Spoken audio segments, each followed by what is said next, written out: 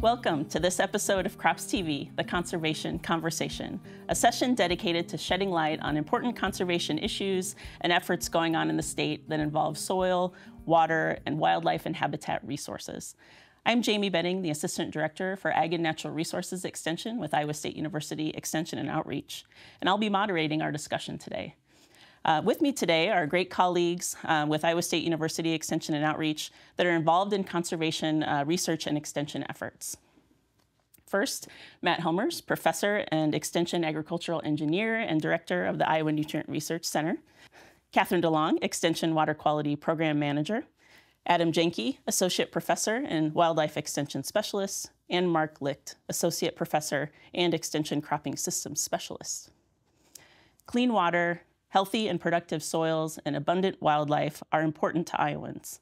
In our discussion today, we'll spend time on major initiatives and issues in major areas of water, wildlife, soils, and cropping systems. In each of these areas, we'll discuss some progress and where we have more work to do in Iowa. Mark, I think the first question will go to you. So, what are some of the major challenges and concerns related to soil erosion and soil health that you're seeing? Yeah, soil erosion it's a it's a big issue in this in the state. It's a big issue in in many states. Um, we know that as long as we have erosion, we're going to have water quality issues. Um, you know, just as we think of erosion and what what those water quality impacts are, it's it's sediment um, in in the water bodies, um, so sedimentation, but it's also clarity issues. Um, and then we're also thinking about uh, phosphorus losses, as that phosphorus is tied to the, um, the sediments. And so we know as long as we have erosion occurring, we're going to have um, you know water quality issues in lakes, rivers, uh, and streams, right? Um, as we think about tying it together from a soil health perspective, uh, typically what we find is that um, improvements in soil health so, um, come with things like no tillage or strip tillage, uh, use of cover crops um, those are the same practices. Those infield practices are, are the same ones that are going to help us reduce soil loss. Um, and so that's a, a really good benefit, a good way to link the two of those together. And then that brings with it um, resiliency in crop production as well. All right. We talk about soil erosion and whether it is a rate that's greater than what we can rebuild um, by our practices or if we're exceeding that rate. So, where do we stand in terms of soil erosion, soil loss um, per acre in the state?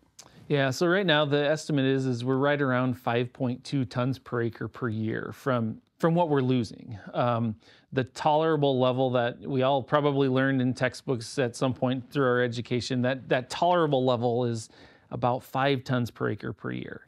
So we have made tremendous progress in in reducing that down, right?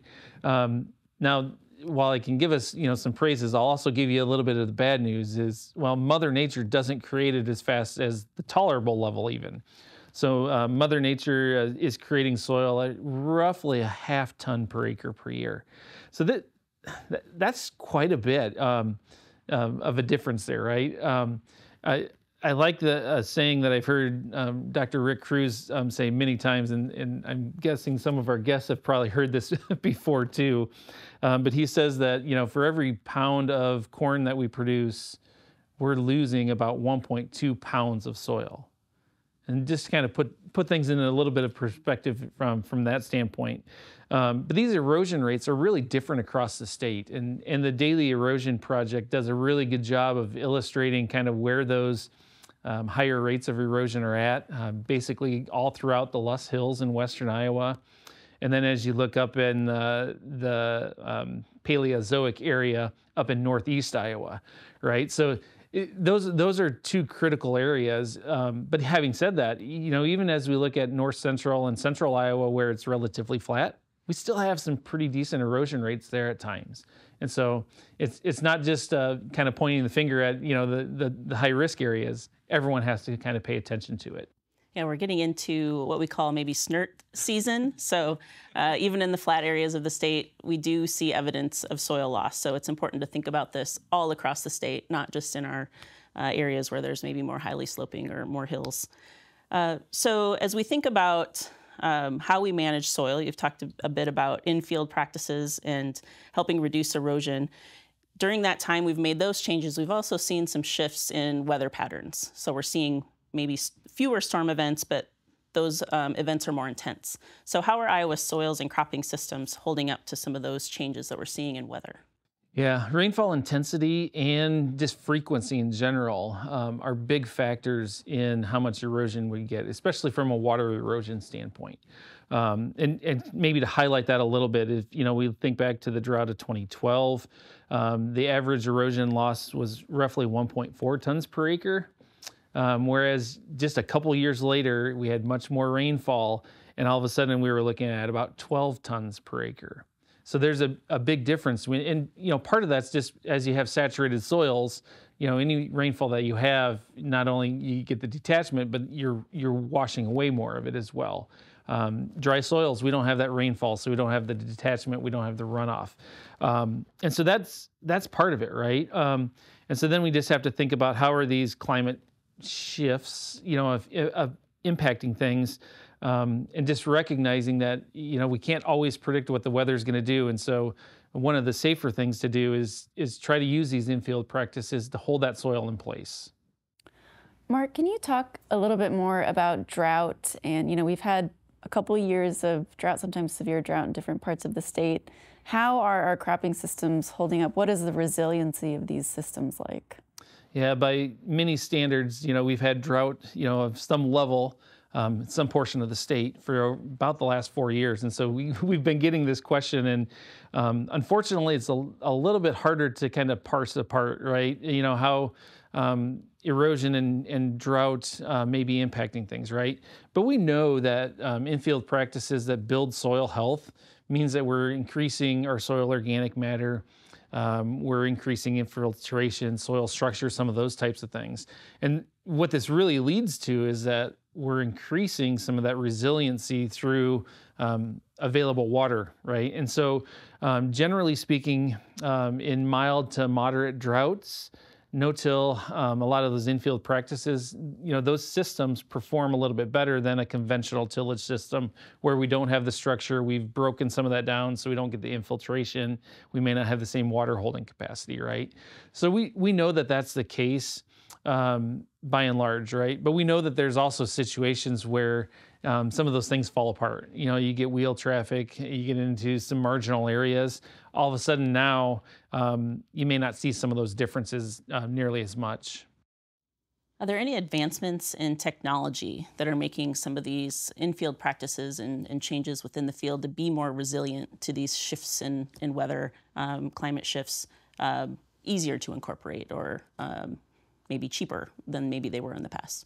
We're really lucky in, in the sense that our equipment manufacturers have helped us with this uh, quite a bit, right? So we know that our planters now can perform very well in a wide variety of environments. Um, new planters, you're changing settings, you know, planter settings from the cab. You don't have to get out and, and check, oh, what's seed depth? What, you know, how, how much compaction may or may, uh, may I be getting, that type of stuff, right? Um, so we can we can very easily uh, change those planter settings to get good planter performance. Um, there's a lot of aftermarket parts as well that um, we can put on um, for residue management or to help us with closing the row, things like that. Um, following on with that, right? Combines are much better than they they ever have in the been in the past, right? We know that we're um, as yields have increased, we're harvesting and we have more biomass that we're trying to to process. And, and from a high residue system like no tillage or strip tillage, that combine is really our first opportunity and maybe our only opportunity to process residue. And so th- those equipment manufacturers have done us a lot of favors in, in moving into high residue systems. Um, when we think about perennial systems or uh, double cropping, relay cropping, some of the longer rotation type things, um, I don't think there's been quite the innovations around those to make those um, easier to adopt, essentially.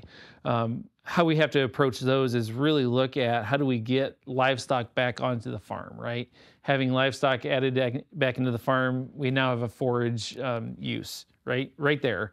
Um, looking for niche markets for small grains or some of these other crops. Um, again, it's probably not that we're going to have one small crop across you know the state of Iowa, but if we have a lot of niche markets, now all of a sudden it opens the door to having longer rotations.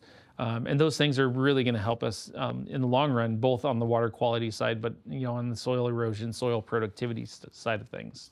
Sure, and adding enterprises on the farm and, mm-hmm. and um, economic productivity in the state. So all sorts of avenues that are um, have potential. Well, we've talked a lot about drought. Um, we know we'll swing back to having more uh, water than we'd like in some years. So, Matt, with that discussion of having more water, uh, we think of potential for losing nitrate um, via tile drainage, and that definitely remains a big issue in Iowa.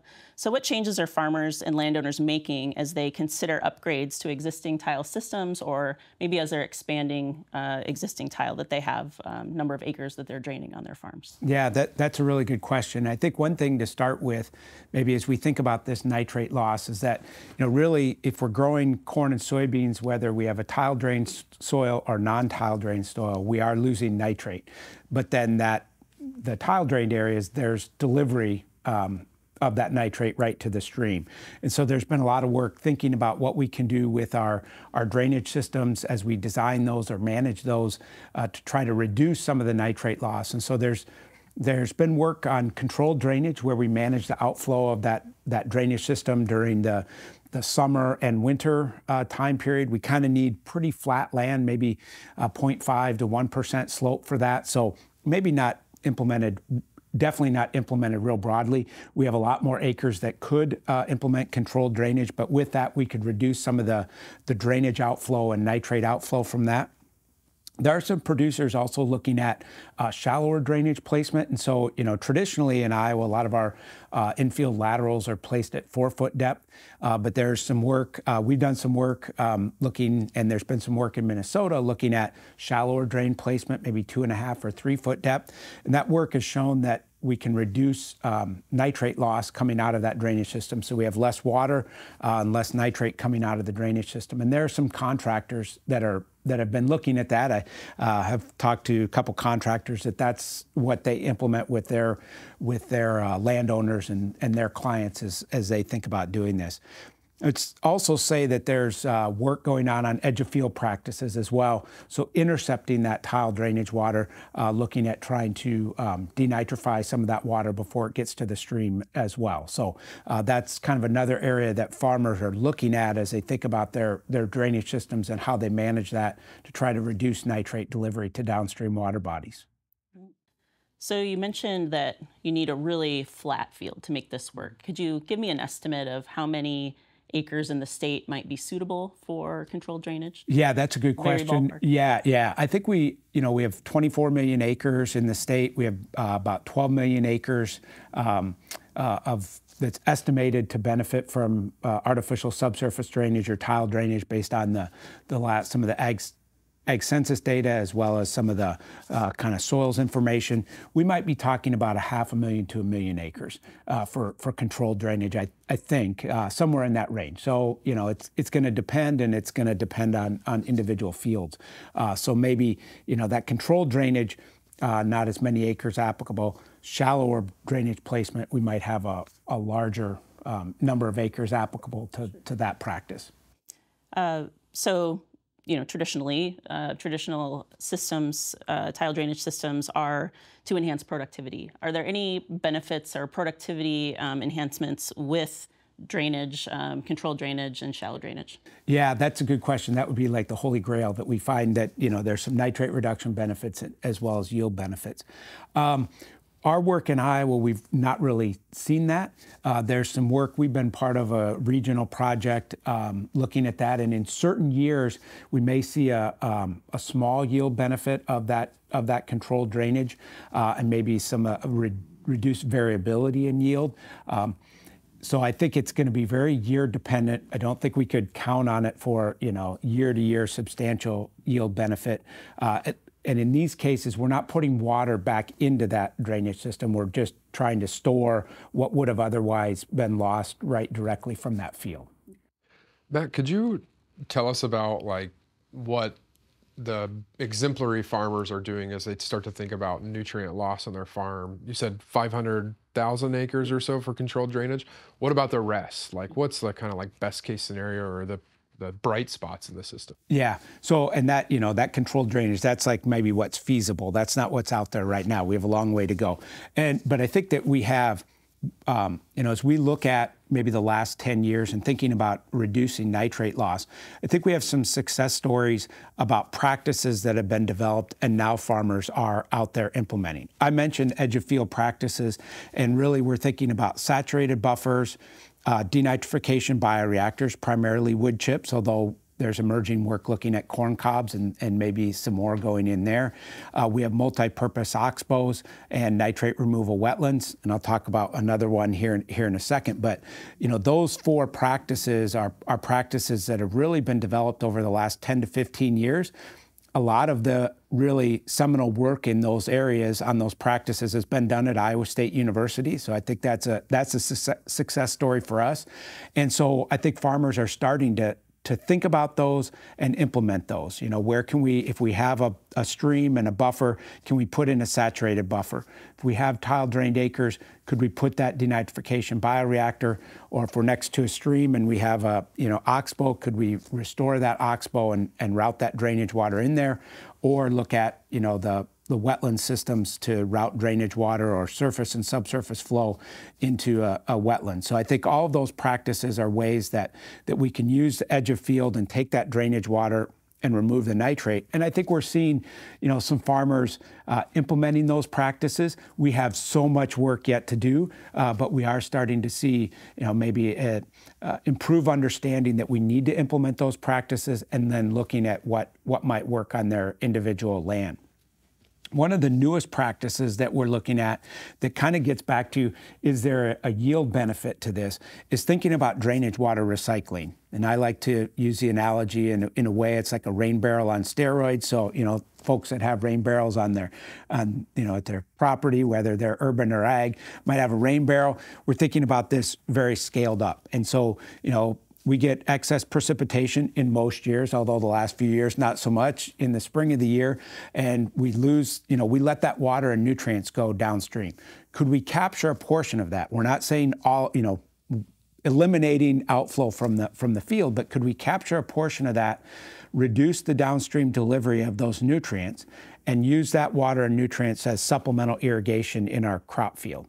And uh, we've seen, you know, that we might be able to enhance our crop production out in the field. Uh, we have uh, a producer that's doing this near Story City, and over about six years of, of using that uh, supplemental irrigation on their corn crop, they've seen an average yield benefit of about 40 uh, bushel per acre per year in the years that they've used that supplemental irrigation.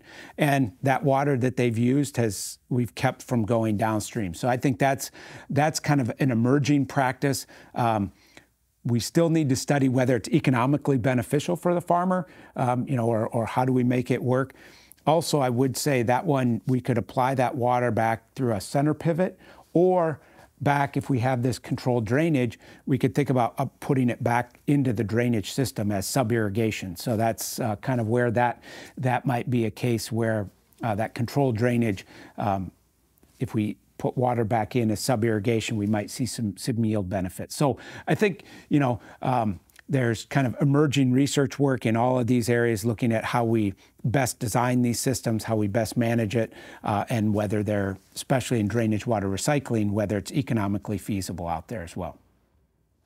Well, thanks for giving us a picture of what's been happening in the field, uh, knowing that we've, we've made some changes, made some advancements, but we still have a long way to go uh, in terms of of how we manage nitrate leaving the field. So, Catherine, I'd like to, to chat with you a little bit about uh, as we think larger, think at the watershed scale, at the, the state of Iowa scale, how do you describe the current state of water quality?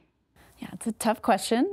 And it's tough because it, it really varies depending on the time of year and it varies depending on the year. We've talked about drought years, we talked about wet years, and so that, that really makes a difference because obviously when it rains, we see more things wash out of the soil, wash off the pavement into our waterways. So that has a big effect. Um, I also like to think about water quality in terms of how you interact with the water. Um, are you using it for recreation? Is it a drinking water source? That's a really important way to think about our water quality as well. But a, a great resource to help understand water quality in Iowa over time is the impaired waters listing. And I've shared with you all a, a graph that I like to use um, that shows um, um, the impaired water listing from 2004 to 2022. And this is something that's put out every year by the Department of Natural Resources. And they uh, look at how that water is used. Is it used as a recreation source? Is it used as a drinking water source?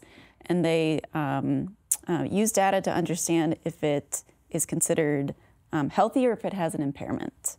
So the, the main thing to, to see in this graph is that um, at the very top of the graph we have a, a dark green area. That's the part, those are the water bodies that have met all water quality standards. Um, and so in Iowa in 2022 we had 15 water body segments that met all water quality standards. Um, that's at about over 2,500 segments in Iowa, so 15 out of about 2,500 segments.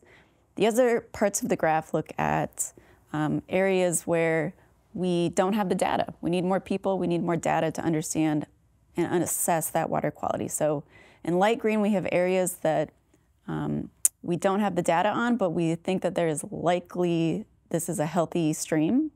Whereas in pink with um, white dots, that's areas where, again, we don't have the data, but it looks like there's some sort of impairment. And so the main thing to see there is that the vast majority of our water body segments, over 1,500, um, are likely impaired, but we're, we're not really sure. Um, in dark pink is areas where um, we have an impairment, but we have a plan in place to deal with that. And then in dark red, those are our impaired waters. So in Iowa, we've got 597 segments that are impaired. So the main thing to take away is that um, the vast majority of our water bodies in Iowa are impaired, and we have about 15 out of 2,500 that are not impaired. Um, so there's lots of room for improvement. Um, the main uh, issues that we see, um, according to the impaired water listings in our, in our rivers and streams, is bacteria. That's a big issue, and that usually comes from human and animal sources. Um, but Matt also talked about nitrates, um, and that's certainly important. That's an important thing to consider. But you wouldn't necessarily see that reflected in the impaired water listing because nitrogen is only considered a direct pollutant if it's a drinking water source. So impairment doesn't always mean unsafe. It really depends on the use um, or the purpose um, for that particular water body. Yeah, exactly. They look at uh, if it's used for fishing, if it's used for swimming, are they harvesting fish from it? Is it drinking water source? So yes, if it is a drinking water source, then they evaluate nitrogen because that can have um, some negative human health effects if, if you drink high uh, water with high nitrate. Um, but it really depends on the use. So if, you, if you're looking at it for aquatic species, you might look at the oxygen level in the water and things like that where can Iowans go to learn more, right? Right? Learn more about their water quality and, and, and the various things playing into it. Yeah, uh, great question. So, um, a great resource that we have here at Iowa State is the Iowa Nutrient Reduction Strategy Dashboard. So, this is essentially a website, um, but it's a way for you to explore um, water quality across the state, but also the number of practices that we've adopted across the state. Um, so the Iowa Nutrient Reduction Strategy, as a reminder, is our statewide strategy to help reduce the amount of nitrogen and phosphorus ending up in our waterways. And in 2023, we observed the 10-year um, anniversary of that strategy. So it's really focused on nitrogen phosphorus. Um, and the main reason is because those really have negative impacts on water quality downstream in the state, but also in other states.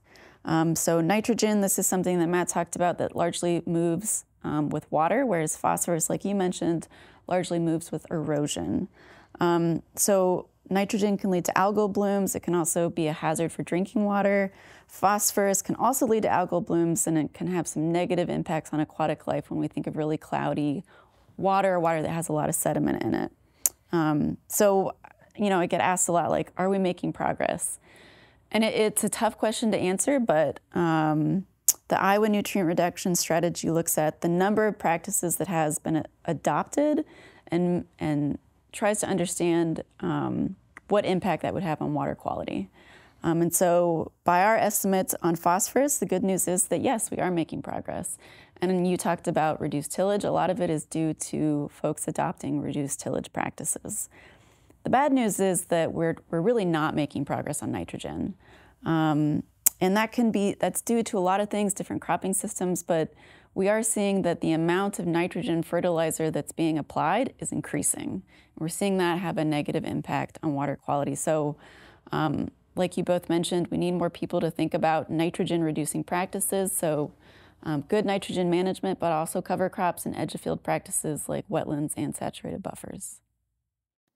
So we've we've talked about some uh, great resources that we have in the state, soil and water, and now we'll move on to wildlife with Adam. So Adam, could you tell us um, what are some major um, concerns and challenges related to wildlife populations in Iowa? Yeah, first I thought it'd just be fun to just like start with what are we talking about when we say wildlife? Because I think oftentimes people have a different picture in their mind for what is wildlife. And so, uh, what are we talking about for wildlife in Iowa? Uh, we have something like around 50 to 60 different species of mammals, some in the sort of same neighborhood, 40 to 50 species of reptiles and amphibians, 100 species of butterflies. Birds is complicated because we have oh, like 100 and I don't know, between around 200 probably breeding birds, and then an equal number or more that migrate through our state during different times of the year from uh, breeding areas way in the north all the way up to the Arctic Circle and wintering areas as far south as Argentina. Um, we have thousands of species of moths. Did I say 100 species of butterflies? We have like all this biological diversity. And oh, freshwater mussels, um, all, insects, all sorts of biological diversity. So what are we talking about when we say wildlife? Um, I always just kind of say like, I don't, any free-ranging animal that nobody owns, uh, then thus we all own. So we all have a stake in wildlife and wildlife conservation. We uh, enjoy the aesthetic beauty that they provide, recreational opportunities. They fuel economies across the state through tourism um, or um, outdoor recreation and comparable things. So um, that's what we're talking about when we say wildlife. And when you have all of that diversity, answering the question like what are wildlife doing in the state is pretty challenging. Some species of wildlife are thriving, and those are species that we think of as kind of being able to adapt alongside people.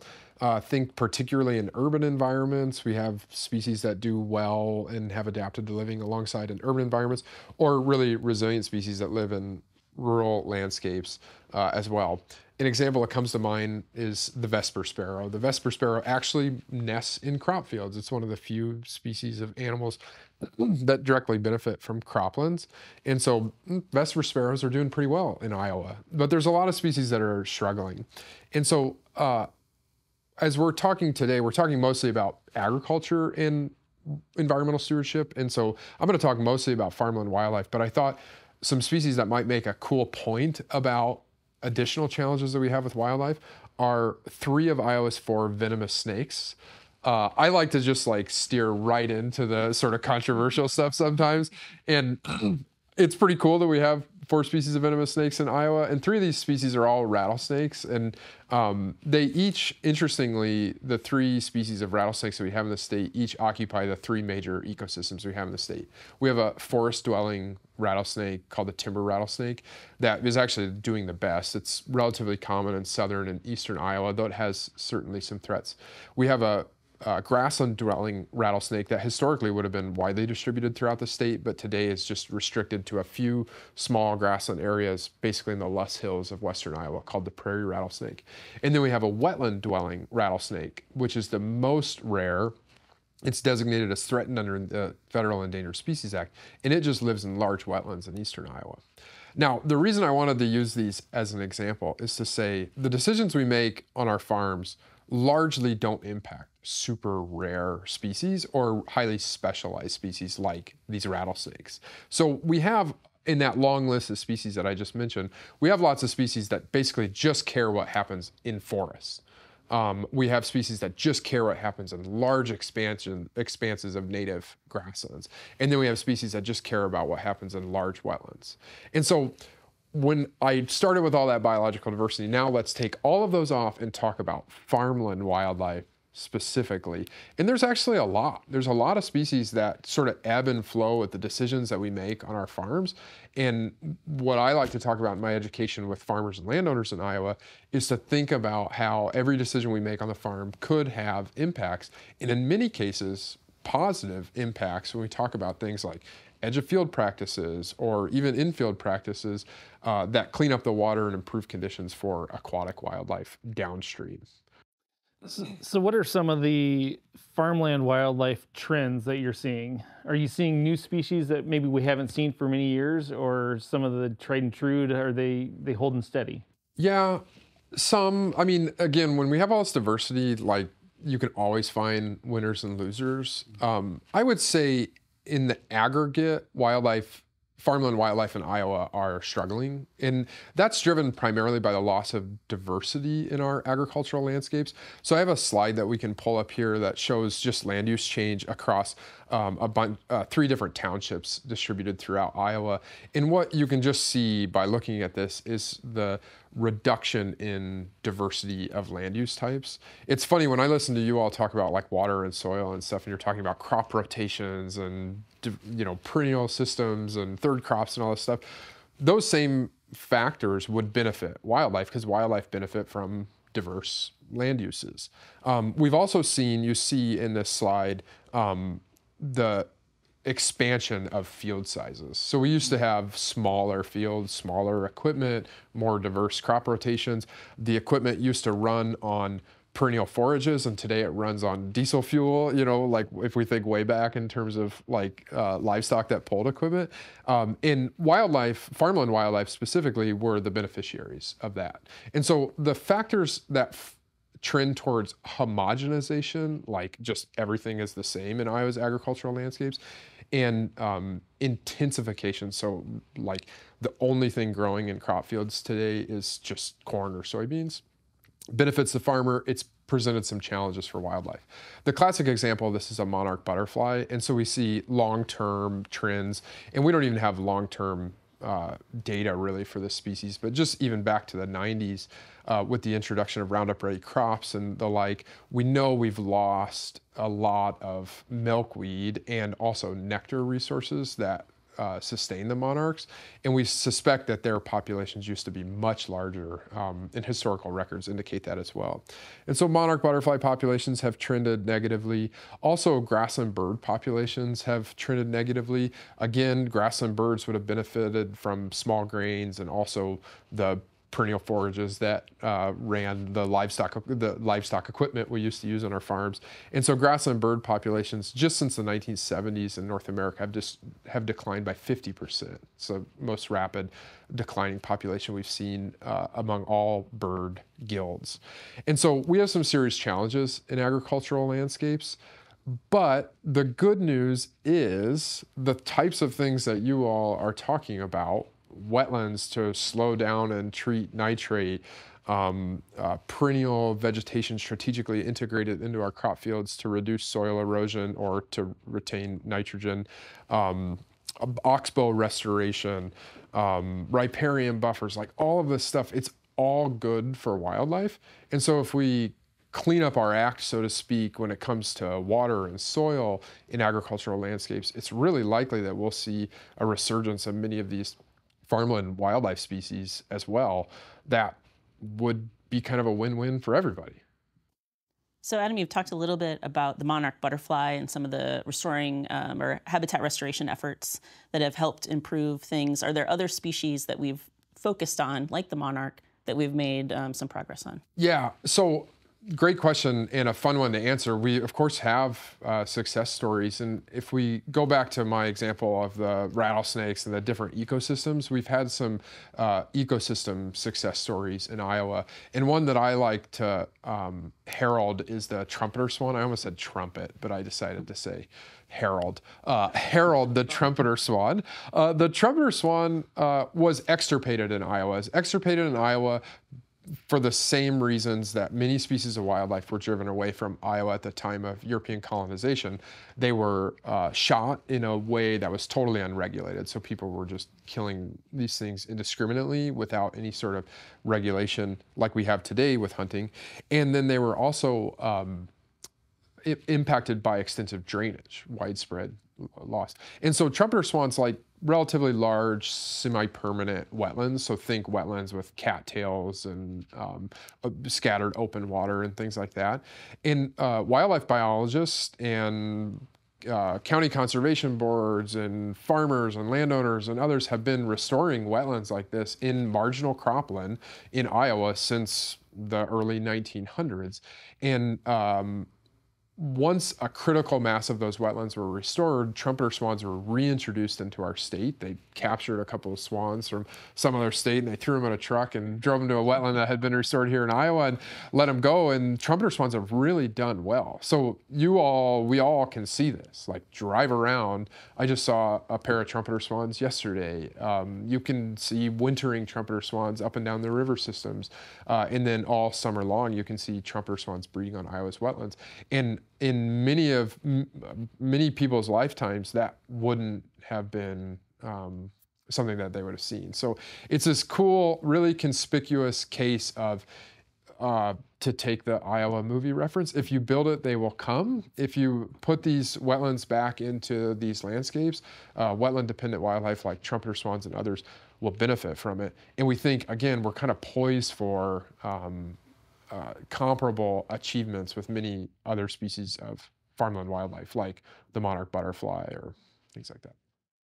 All right. Well, it's great to hear from everyone and, and get um, to dig deep in, into a, a, few areas that you're working in. Uh, we'll transition now to a little bit faster pace. Uh, so I'm going to start with Mark, and uh, I, I want to know from each of you what system or practice has a lot of potential to protect natural resources while also balancing agricultural productivity. So from your um, area that you work in, what do you see some great promise in?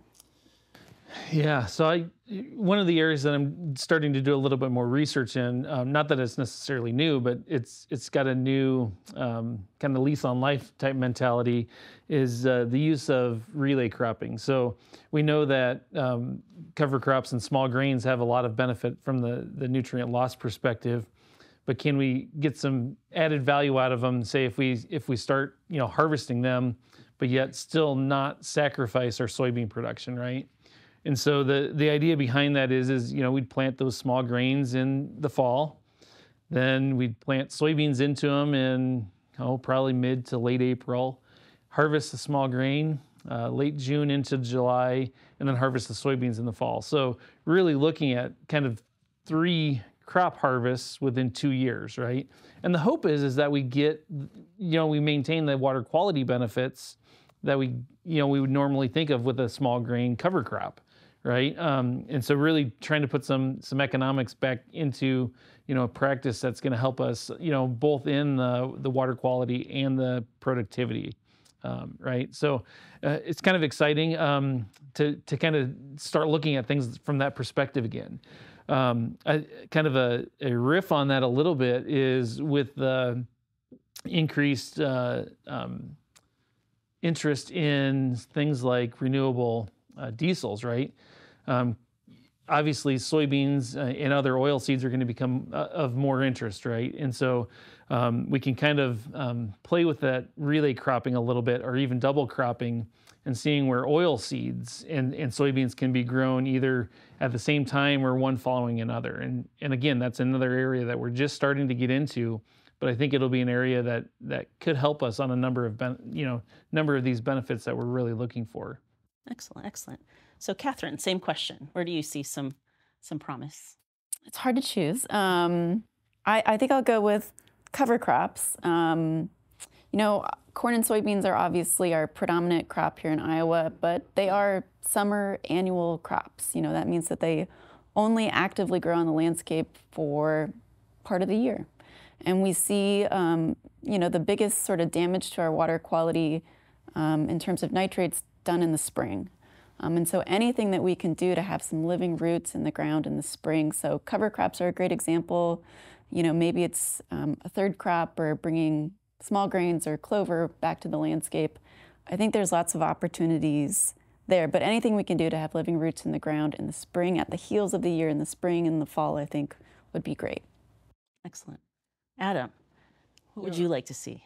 One thing that really excites me is the sort of intersections between a lot of things we've been talking about today and like um, farm profitability or farm resiliency. And so um, we're not talking about you know taking the most profitable acres in the farm out of production and putting them into prairie, say, to help the monarch. Now, if a landowner wants to do that, have at it. But we're talking about uh, the greatest opportunities we see for wildlife conservation agricultural landscapes might be to reimagine certain uses of our farms in areas where we have not been maybe profitable. Uh, some examples of that uh, we can pull a picture up on a screen here of a farm up in uh, north central Iowa that Nathan, our friend Nathan Anderson farms, and uh, he was farming adjacent to the the stream that goes through his property, and uh, major flood event kind of gave him a light bulb moment of like, why, why farm right up to the edge of the stream when I know I'm consistently having these flooding challenges? And so he worked with the local farm services agency and enrolled that land in the conservation reserve program adjacent to the creek. And now he, in doing so, he's increased the resiliency of that area of his farm. He reduces flooding loss and he's increasing the net profitability of the acres that he is farming. And we see opportunities for this all across farms, all across Iowa. Uh, highly eroded hillsides may not be worth continuing to put inputs into, and we can plant them in diverse native perennial vegetation and get lots of environmental benefits, including reduced soil erosion, reduced nitrate loss, and also uh, wildlife habitat. We can do it in flood prone areas, like on Nathan's farm, it was adjacent to a river and stream, but all across north central Iowa, we have depressional areas that are just really hard to farm and they flood consistently, especially with major spring precipitation events that we see uh, with the changing climate. Uh, so we could do it in potholes. We could even do it on like the edges of field where where we've have been driving heavy equipment for a hundred years and that soil is super compacted and we just can't really get a crop out of it. Uh, those highly compacted areas or old old barn lots. I mean, there's there's tons of opportunity areas when we look out across our fields. If we get people to think beyond just the traditional field edge and think about where within that field are you profitable and then finding areas where you're consistently not profitable and converting them to diverse native perennial vegetation. We always say that because it's important to get the most out of these areas. We can plant them into uh, native vegetation like prairie and, and uh, provide a lot of environmental good and also provide some um, economic returns to the farmer and landowner. So I, I get to go last and uh, everybody's, yeah, yeah, everybody's talked about some really important things and I'm like, Catherine, how do I choose just one? Um, I guess I, couple couple things. I'm not going to say just one, but I'm going to maybe amplify what what Mark and and Catherine said. Is you know I think with cover crops. Uh, or thinking of a winter biomass uh, crop, there may be some some benefits there. You know, I'm really intrigued if we can think about how can we use that for forage for livestock. You know, in, in certain areas to get some added added economic value maybe for the producer while still getting the environmental benefit. And then there's work looking at maybe harvesting that that cover crop biomass for uh, things like anaerobic digestion. So maybe there's some opportunities for some some economic return from uh, that cover crop that that we we um, expect to provide us environmental benefits. I'll also go back to our drainage water recycling concept because I think that there's there's the potential there of of enhancing agricultural productivity.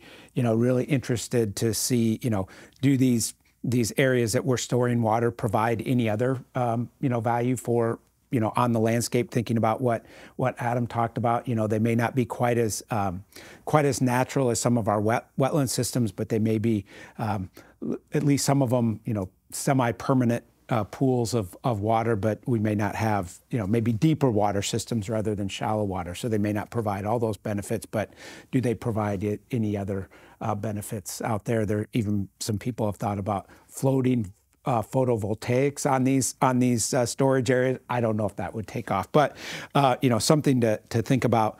Um, you know, and then uh, you know I have colleagues working on perennial ground cover, so kind of a, a bluegrass that you know grows perennially uh, under that corn or soybean crop. So I think there are a lot of you know kind of cool emerging um, practices that that are that are out there, and uh, you know excited to see what happens. As Catherine said, it's 10 year of the Iowa nutrient reduction strategy. What happens with some of these over the next 10 years. It's exciting to think about. Yeah. Okay, so on to the next one. What are you most excited about in the area of, of conservation? Um, so we talked about some exciting things already, so you have to dig a little deeper. Could be emerging research, it could be tools, it could be efforts that you're seeing in one part of the state that you'd love to see expand uh, beyond and, and really cover the entire state. So Adam, I'm going to start with you for this one. What, what are you excited about? Yeah, I think I perceive there to be sort of a growing awareness and concern about these topics. Um, and I get that from my experience on farms. Uh, I always think of myself as kind of like the sh- sideshow entertainment. Like Mark's going to show up and tell you how to like raise a crop, and Matt's going to show up and tell you how to install a drainage system and other things. And I'm just the wildlife guy there to talk about the things that exist on the margins of our farms. But I find that I consistently have an opportunity to have conversations with people about uh, the things that they're seeing on the farms and what they're asking for out of the landscapes in which they uh, live and work. And so, um, sort of this growing awareness about the positive benefits that accrue when we sort of do right by the land, when we think about things beyond just this year's crop, when we think about long term uh, conditions of the soil or the conditions of our friends and neighbors that live downstream and the drinking water that we're sending to them, uh, or even our friends and neighbors that live a world away that will uh, that are today hosting the monarch butterflies that we raised in uh, late summer and fall and today are found in Mexico. Um, just thinking in that sort of global context and then acting locally to find opportunities to diversify our landscapes by putting diverse native perennial vegetation out there, integrating edge of field conservation practices uh, into our farm. I just perceive there to be a growing uh, interest and recognition among farmers and landowners in the state. And I think it's our job to be the cheerleaders and chiefs for the people that are out on the vanguard of that, adopting these conservation practices and talking about all of the good that accrues to their farm beyond just the bushels. Uh, the good in terms of improved soil health, the good in terms of improved biological diversity, improved recreational quality of life outcomes, and things like that. So I think that's kind of what gives me hope for this system. Awesome, awesome. All right, Matt. Okay, I didn't get didn't get didn't go last on this. Um, I think there are a few things I think about that, and I'm not even going to go to any practices, but you know, do we are we implementing ways to kind of accelerate the rate of adoption of of kind of the tried and true or emerging practices. And I think we're I think we're doing that with things like the batch and build efforts of, you know, how do we make it easy for farmers to implement these practices, make it efficient. You know, and, and we've kind of had to build capacity in that area. You know, we have to have more people on the ground doing this work. I think that's exciting. There are more watershed coordinators, more people uh, involved with this, conservation agronomists, folks. Um, and so, you know, that's where I'm most enthused is how do we how do we make this efficient for the farmer to implement because some of these don't don't have at least a short-term economic benefit. So how do we make it efficient? And I think there are efforts with the batch and build there.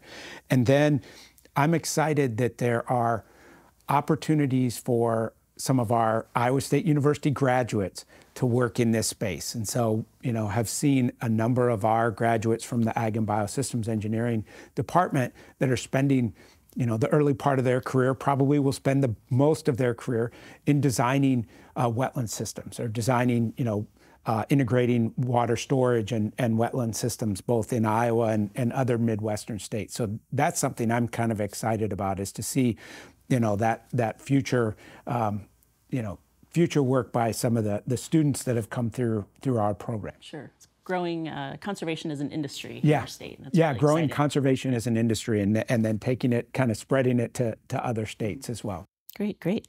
All right, Catherine, what's, what's exciting to you? Well, I'll build on what Matt said. I, I think the um, investment in people, um, you know, some of these systems that we're talking about are complicated and farmers need help to adopt, adopt them and shift to these systems. And so we see in the Iowa nutrient reduction strategy that the, the amount of investment in people and in technical assistance to help farmers is increasing.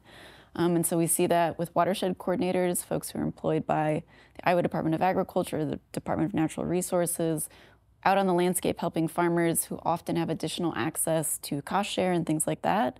And then we also see it very excitingly in conservation agronomists. Um, this sort of new position that we're seeing a huge growth in. Um, folks who are employed by private retailers usually, but who have a lot of conservation expertise. And I think we're seeing retailers and other private groups see that something like cover crops is not outside of their business model, right? You can still sell the exact same amount of nitrogen, but now you've added another seed possibly to, to that. So I think the investment in people is, is really exciting and it's the foundation that we can build all these other things on. Great, great. Mark, last one. What's exciting? What, what, are you looking forward to? Uh, I'm I'm looking forward to kind of uh, taking a systems thinking approach to cropping systems, right? And so uh, I'm just as guilty as many other researchers, and you know we really get focused on you know looking at cereal rye cover crops ahead of corn or something like that, right? And and I know Matt's doing a little bit of this uh, work as well, but um, just thinking about you know if we want to use cover crops, if we want to use reduced nitrogen, if we want to use split nitrogen applications, uh, maybe even if we we want to do these things, right? Maybe we need to think about how we want to change or how we can change our crop production too, right? Do we change our maturity? Do we change our planting dates? Things like that to make this whole system work much more efficiently, right? Um, and and you know we're all very conscious of you know profitability, um, you know th- that farmers have, but I think we're all trying to learn how do we do this uh, in, a, in a very efficient way. And, and I think now getting into the kind of that systems thinking process is kind of exciting, right? It, it's, it, it's going to help us hopefully get to that next level a lot easier. Right. Thanks, Mark. Yeah, it really is going to take a, a system approach to all of this. There's not one practice, not one change that we make. Um, so all of us, I know, are, are heavily involved in that and thinking cross disciplines. You know, all of us sitting in here today represent different disciplines, and I know we really enjoy working together and, and bringing those different ideas together and and thinking about how how we make this work, how we keep advancing and and addressing all of the goals that we have in Iowa for crop production, um, improving soils, improving water, improving habitat, um, increasing our wildlife populations. Uh, so. Uh, it's great to, to end on that systems thinking note, Mark. Welcome back to the conservation conversation. Uh, when we first recorded with the rest of the crew, uh, Billy Beck wasn't able to join us, but we're so happy to have him here today to talk about forestry issues. So, Billy Beck is an extension forestry specialist and assistant professor with Iowa State University Extension and Outreach. And uh, we're happy to have him here to talk a bit about uh, forestry resources that we have in the state, some important issues related to forestry that we should be thinking about as landowners and operators. Um, so let's get started. So, Billy, first question I have for you are In what ways are forests being managed to balance both profitability and some of our conservation goals that we have in Iowa? The first thing I think of when I think about that is um, agricultural producers taking marginal land out of cultivation for a range of forestry practices um, that benefit their overall agricultural enterprise. So it can be something as uh, common as a tree planting, but also silvopasture, riparian forest buffers, um, nut tree plantings for personal use and diversification of income, um, and windbreaks as well, which have a myriad of benefits from pollinators to you know economic boosts on the farm. So for me, when I go across the state, that's a big one that I I really look out for and appreciate when I see. Great, great. So silvopasture is one maybe not everybody's heard about. So could you tell us a bit about what silvopasture is? I will. So I am um, attempting to become knowledgeable on silvopasture. I am not an expert, but it's basically com- combining grazing and um, forestry for the benefit of both. So um, Ashley Conway, Dr. Ashley Conway at the University of Missouri, is a silvopasture expert. She's my my go-to for that for that subject. But it's fairly new in the Midwest. Um, there's a small group of us that get together and chat about it to see how we can incorporate that new extension and, and learn more. But um, I'm right on the tip of the iceberg of exploring silvopasture. But it's a great example of combining, you know, how trees can benefit the, the overall farm enterprise. So. Excellent. Well, great to know that there may be more to come on silvopasture, and then uh, great to hear about all of the other ways that, that forests can be managed uh, so emerald ash borer and oak wilt are two issues that I am hearing more and more about um, that are of concern, uh, certainly to, to forest owners. Could you share the status about those two uh, issues and, and maybe where folks could get some information if they're new to those two issues? Yeah. So I'll start with emerald ash borer. Um, unfortunately, it's been detected in almost all of Iowa's 99 counties, so the wave has, has spread through. Um, impacts all of our native ash species, green, white, blue, and black, uh, unfortunately. Um, no resistance has been found yet. Um, so it's really kind of forced our hand to diversify our urban and rural forest canopy. It's a really good teaching moment about diversification and the, the importance of that. Um, if they are interested, if folks are interested in getting more information about emerald ash borer, um, just do a quick search of Iowa State Natural Resource Stewardship Extension, emerald ash borer. We've got a great page that tells you how to treat for it, um, replacement species, how to identify it, uh, and other things that you might want to know about, about EAB. But it's here. Um, the wave has passed. It's, it's come through Iowa, so we're going to, the next 20 years, it should be interesting to see what happens with uh, that insect and the, the ash population. So it's unfortunate that this is the way that it came about, but um, diversity is great. So the opportunity, if you know, that we're facing now is is not all bad. So it does give us an opportunity to to diversify. Yeah, silver lining. It's really a, a great, you know, punch in the face about we really need to diversify our, our urban and rural woodlands. So, all right, thanks. So what about oak wilt? Like emerald ash borer, it's been found statewide oak wilt, and it's a vascular wilt. So it's a fungus that clogs up the tree's vascular system so they can't transport sap up and down and eventually killing the trees. And uh, red oaks are very susceptible to it. White oaks are, are susceptible to it, but not to the degree that, that red oaks are. So um, I'd say if you're a landowner and you're concerned about oak wilt, um, the first thing to do is really assess your woodlands. Walk your woodlands in the summer, mid to late summer, um, and you can uh, see on the slide there, you're looking for a rapid wilting of all the leaves on the tree, and they rapidly fall down and make this big pile or carpet right under the right under the, the canopy there. So that's one thing to look for in the in the summer to identify oak wilt. And it often happens in pockets because one of the ways it's transmitted is through the roots of oaks. When they touch each other, they graft and join so that fungus can get through the roots and get to its, its quick, uh, quickly to its neighbors. So with oak wilt, one concern that we're having is it's spread through wounding of oak trees in the growing season. So that wound produces sap. The beetles that carry the fungal spores are attracted to that sap, and then that's an entry point for, for oak wilt. So with the extreme weather events that we're seeing more and more, uh, the derecho in 2020 was a good example um, we're getting very concerned that oak wilt could uh, could um, become exacerbated around the state. So we got lucky in 2020 because the derecho was fairly late into the growing season, but with what's been going on with the weather, we're, we're concerned. So meeting with a forester, assessing your woodlands, you can have a strategy to, to get ahead of that. So Great, great, thank you. So you mentioned the derecho. That's another uh, topic that comes up when you're talking to woodland owners and and communities that were in the path of that storm. How are our communities and individual landowners recovering from the damage? That was a, a big storm and really affected a lot of people in different ways. Yeah. And honestly, like we get pockets of storm damage all over the state, but this was a quite the event.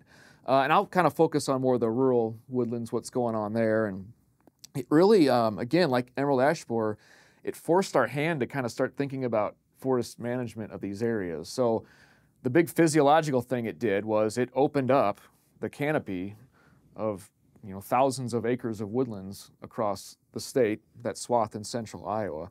And when it did that, it provided a lot of new sunlight for the regeneration underneath. So a lesson was that folks that were actively managing their woodlands and had the regeneration that they wanted, like young oaks, for example, kind of benefited. I mean, I know that sounds kind of counterintuitive, but they benefited from that canopy opening. It reinvigorated and gave sunlight to that young reg regeneration.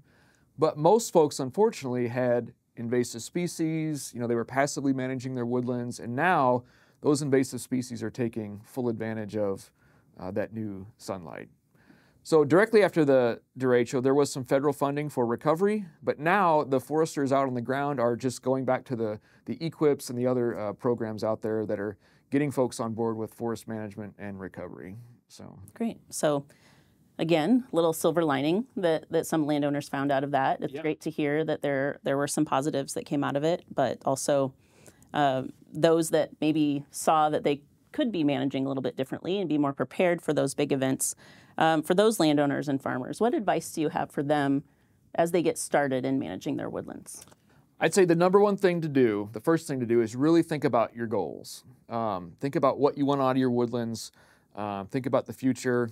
Are you wanting to pass that along to your, your children or, or donate it to a, a conservation easement? But we get asked a lot, what do I do here? What's the right thing to do? Well, there's not one right thing to do. It's really based on your goals and what you get, want to get out of your woodland. So really think about that, uh, about what your goals are and have them be like, you know, the SMART goals. You know what I'm saying? Like specific, time-bound goals that you want to achieve.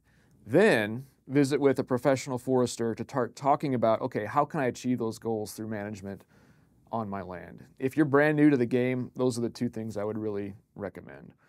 Where would a landowner go to find a professional forester? Ah, great question. So if you Google or search, um, if you search on for natural resource stewardship, Iowa State Extension, we have a natural resource contacts page where it's a clickable county map you click your county and you can see all the professionals that serve that, that county.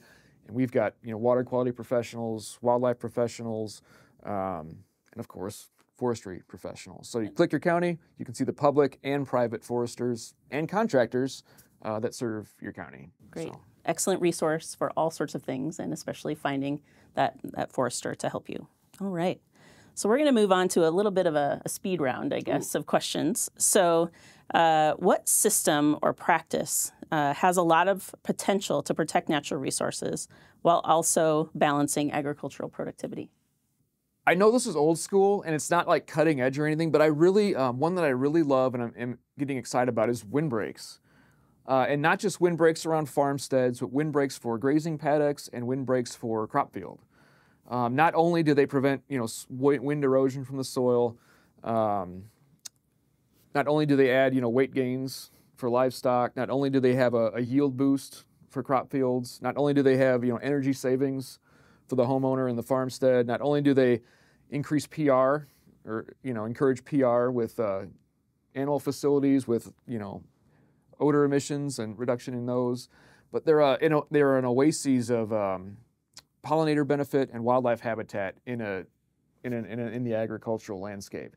And even recently, too, you know, more and more people are establishing these, establishing these because they want to see wildlife close to their house and they just want that mental health, beauty, aesthetic on the landscape next to their, their property that lately I think would be a huge, huge benefit. So I know it's old school, but um, I really think there's a huge potential out there for windbreaks to do not just block the wind, but do all these other compound provide all these other compound benefits. Yeah, I think we go right to the name and think, okay, that's its benefit. You yeah, know, it's a windbreak, but it's great to think about all the other things that it can bring to your farm and and really provide generations of of those benefits. Yeah, planted once, it lasts for how you know what's the lifespan of a typical windbreak? That's an interesting thing that I think um, a lot of folks don't really grasp is that these things have a lifespan and they need to be rejuvenated I would say between 50 and 70 years, you you really need to start thinking about regener um, renovation of, of, a windbreak. And that depends on your species and what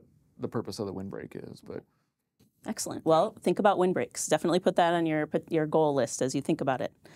So, what are you most excited about? I mean, you you get excited about a lot of things, so this I might do. be hard to yeah, hone down on. but what are you most excited about in the area of conservation? It could be emerging research, a new practice some policy changes, anything that you're seeing maybe gain momentum, what brings you some excitement? Um, I will say three things, and they're more on the programmatic side of things, but I think they're very exciting. Um, the first one is the Forest Legacy Program. This is a conservation easement um, associated with the U.S. Forest Service that is seeking to protect woodlands that are at risk of conversion. So around our large um, metropolitan areas, those woodlands are what it's kind of aimed at, at protecting. So it's really getting up, led by the Iowa DNR, administered by the Iowa DNR in this state. Um, it's kind of ramping up right now. And it's been very exciting to see properties go in under this. So private ownership, but they have this easement to protect the woodland Yes. through uh, the USDA Forest Service. Yep, yep. So it's it's keeping their conservation goals on the ground, ensuring it will never be developed, uh, but they still own the land, so and they can still use it uh, for what they need. So Excellent. very excited for that. Okay, number Uh, two. Number two, yes. now programs ebb and flow, and I I'd like to make this you know timeless a timeless video. But the point of this is always reach out to your USDA service center and your professional foresters for what's going on out there. But one really neat one now that's coming up is the Conservation Stewardship Program, um, CSP. So one neat thing about this, it's open to everyone, but it's really aimed at kind of giving a, a reward or some some extra opportunity to folks that are already doing great conservation. So it's like, hey, here's some bonus things you can do on your land. And it's a wide range of things, everything from like tree planting, wildlife habitat, pollinator habitat. I mean, it's just a, a- very, very wide range. Um, so that's very exciting Excellent. for me.